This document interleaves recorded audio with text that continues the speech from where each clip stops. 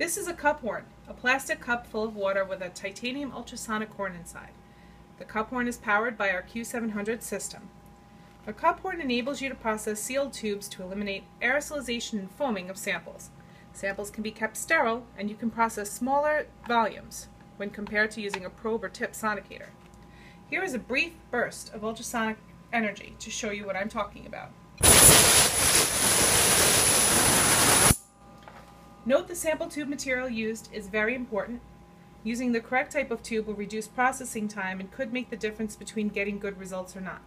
Standard polypropylene tubes are thick and absorb much of the ultrasonic energy, so they do not work well with many types of samples.